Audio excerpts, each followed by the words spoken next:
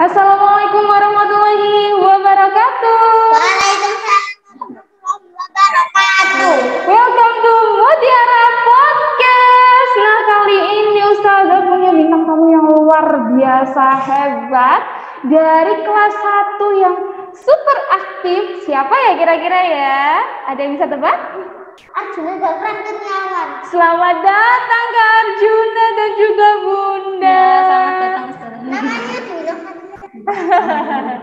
Terima kasih sudah berkenan untuk hadir di podcast Mutiara.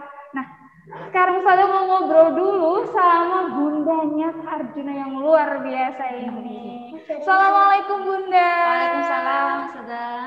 Bagaimana kabarnya Bunda? Alhamdulillah sehat. Wah, kali ini kakak sudah berhasil menyabet juara pertama Math and Language Competition 2021. Wah, perasaan Bunda seperti apa ya sekarang kira-kira? Hmm, saya sangat eh, bangga, senang, terharu juga dan Kan sampai bisa di titik ini merupakan awal Juna untuk bisa lebih baik ke depannya. Oke. Apakah eh, pada saat eh, berkompetisi Bunda sudah menebak, wah ini Ananda pasti bakal menang ini.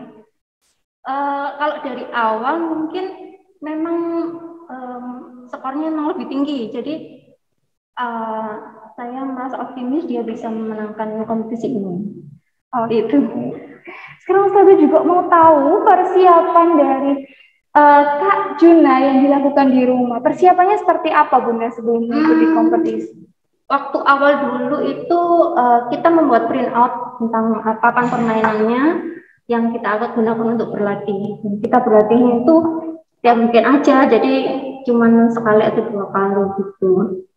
Kemudian Juna ini kan suka main tebak-tebakan ya Ustazah ya. Jadi saya eh, membuat games kecil tebak-tebakan tentang berhitung tentang pengurangan pengurangan maupun penjumlahan seperti itu. Dan tidak lupa setiap berlatih atau bermain eh, berhitung, saya berusaha untuk mengarahkan dia untuk tetap fokus agar dia bisa eh, melakukan perhitungan itu dengan baik. Seperti yang kita tahu Bunda di umur kakak ini sekarang ini pasti sangat aktif berlari Iya. dan bermain Bunda. Nah, bagaimana cara dan upaya yang dilakukan Bunda agar kakak ini tetap bisa fokus belajar seperti itu? Eh, saya berusaha membuat apa pun yang kita lakukan eh, itu nyaman buat dia. Jadi nggak ada kayak tekanan atau apa. Makanya kita eh, berlatih berhitungnya itu dengan fun, dengan bermain games kecil-kecilan, bikin games gitu. Dan satu lagi Ustazah, eh, kalau misalnya dia mencapai satu target itu kita kasih rewards gitu ya untuk sedikit eh, kasih dia motivasi untuk lebih baik ke depannya seperti itu. Luar biasa teman-teman. Bundanya juga sangat mensupport ayah bundanya. Setelah kakak berhasil memenangkan suatu games ya bunda atau juara. Iya, apa target tertentu lah. Iya, kakak akan mendapatkan reward. Wah, luar biasa ya bunda. Yang terakhir bunda, saya ingin bertanya sama bunda. Tips parenting ala bunda seperti apa? Eh, parenting kalau menurut saya eh, saya tidak pernah memaksakan misalnya anaknya jenuh ya sudah kita tinggal. Kalau misalnya moodnya bagus baru kita eh, lakukan lagi. Jadi eh, kita tidak ada penekanan atau apa. Yang penting anaknya enjoy aja gitu menjalani apa belajar atau apa. Wah, luar biasa. Yang terpenting adalah kebahagiaan Iya. kakak ya bunda iya, biar dia enjoy dan juga Bahagia. nyaman dalam belajar tanpa pemaksaan luar biasa. Selanjutnya Ustazah juga ingin berbincang langsung dengan sang juara kita kali ini kakak Juna. Good morning Kak Arjuna. Good morning Ustazah. Thank you for coming here. You're welcome. Ah, okay, actually, what is your complete name? Arjuna Zafran Kurniawan. How do I call you, Kak? Juna. Oke, Kak Juna. Kak Juna, how do you feel after you know that you are the first winner of this I am are very happy.